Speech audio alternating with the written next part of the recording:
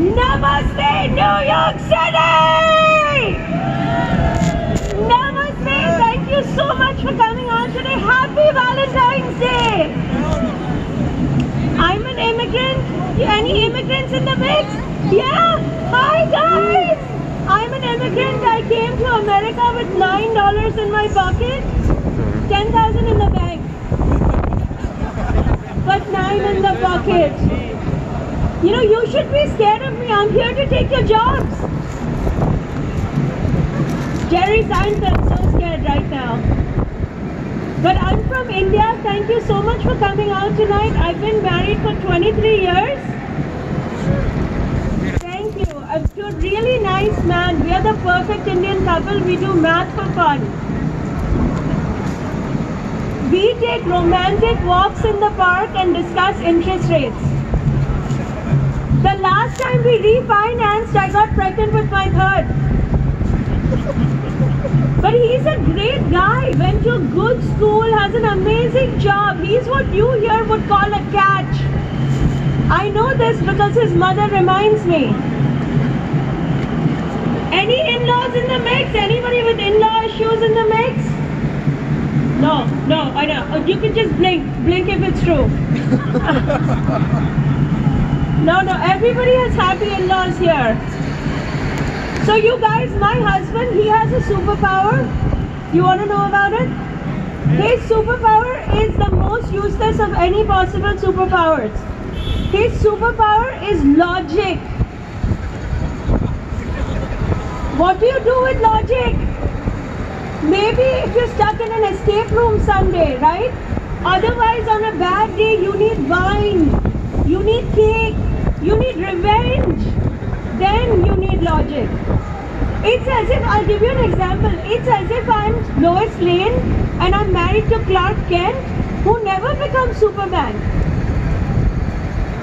You know, if a bookshelf falls on my head, I don't need somebody explaining to me that I put too much stuff in it. Anybody relate? So, you know, I'm an immigrant from outside America. I've lived here many years. I've learned something about the culture here. People love to say I love you all the time and to everybody. Right? My immigrant friends, you see it? When you're from outside, you really see it. I love you in the morning, I love you in the evening. You went to school, I love you. Came back from work, I love you. So much love. I hate it. I've never said I love you to my husband. No, it's only been 23 years. What's the rush? But if he said it to me, I'd know he's cheating on me with a white woman. Where else would he learn this nonsense? And we've never had a candlelight dinner either. Why would we? We came to America for the electricity. Said I love you one time and meant it to an Amazon customer service representative. you feel me, ladies? Right? Amazon. And my daughter overheard me. She's like, Mom, you just said I love you to Amazon. I said, So? And she goes, You've never said I love you to me. I said, We don't have that kind of relationship. You've never helped me find a package. But you know, I'm really happily married for 23 years. I got a Valentine's Day gift already. Did you guys get each other something? I see the roses. I got, you know what I got? Who wants to know what I got? I got a Metro card with a very sweet note that said, "Stop taking Ubers." That is that is a true love story of being married as long as I have. We have three kids.